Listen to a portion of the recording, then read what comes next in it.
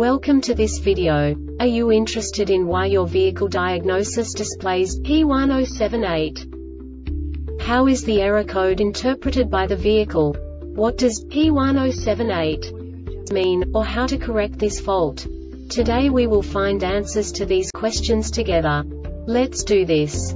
First, let's look at the history of diagnostic fault code composition according to the OBD2 protocol, which is unified for all automakers since 2000. We divide the electric system of automobile into the four basic units.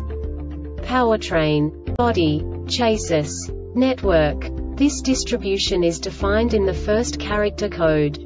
If the second character is expressed as zero, it is a standardized error. In the case of numbers 1, 2, 3 it is a more prestigious expression of the car-specific error. The third character specifies a subset of errors. The distribution shown is valid only for the standardized DTC code. Only the last two characters define the specific fault of the group. Let's not forget that such a division is valid only if the other character code is expressed by the number 0. Our website airbagreset.sk produces useful videos for you.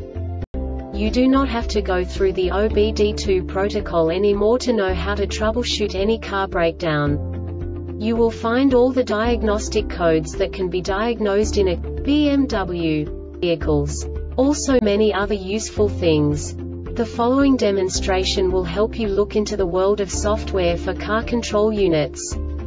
You unbelievably can move the video a bit further. The error code is split into two bytes consisting of 16 bits. One bit is the basic unit that each computer works with. The bit has two logical states. 0, low level, 1, high level. By combining the first two bits, the basic character of the error code is expressed. The next two bits again determine the second character. The last beat styles of the first byte define the third character of the code. The second byte is composed of a combination of 8 bits. The first 4 bits determine the fourth character of the code. And the combination of the last 4 bits defines the fifth character. A single byte conceals 256 possible combinations. We now know in what way the diagnostic tool translates the received information into a more comprehensible format. The number itself does not make sense to us if we cannot assign information about it to what it actually expresses. So, what does the diagnostic trouble code P1078 interpret specifically BMW car manufacturers? The basic definition is Valvetronic VVT overload protection control motor current high input bank 1. And now this is a short description of this DTC code.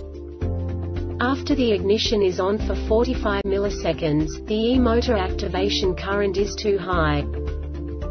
This diagnostic error occurs most often in these cases. Dot. Sticking in VVT mechanicals, pinion gear, etc. Loose sensor sensor servo motor has short circuit. The Airbag Reset website aims to provide information in 52 languages. Thank you for your attention and stay tuned for the next video.